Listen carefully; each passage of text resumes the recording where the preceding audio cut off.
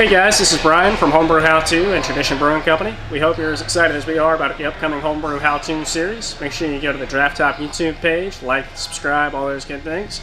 Today I'm here to teach you how to use a Draft Top 2.0. Our first step is going to be to pop, get her opened up, then we're going to connect to our can, get a good grip from the bottom, not squeezing the sides. Squeeze the opener, twist, looking for our three cracks. And then we're to push the lid in. Enjoy your beer. Make sure you rinse this guy off afterwards.